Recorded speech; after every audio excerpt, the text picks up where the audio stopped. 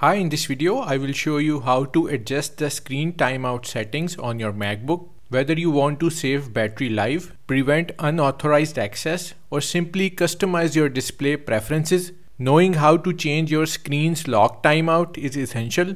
To increase screen time in MacBook Pro or MacBook Air, click on the Apple logo in the top left corner of your screen. Then click on System Settings from the menu.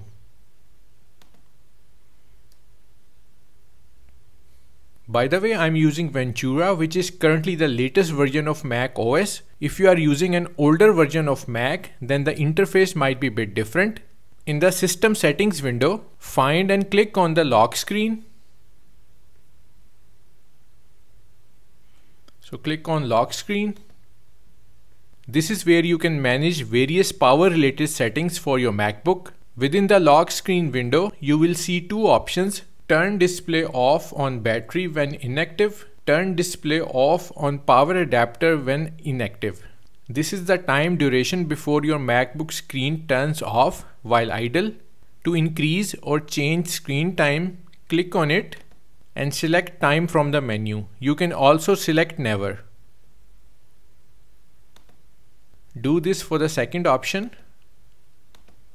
Once you have selected your preferred screen timeout duration, simply close the lock screen window.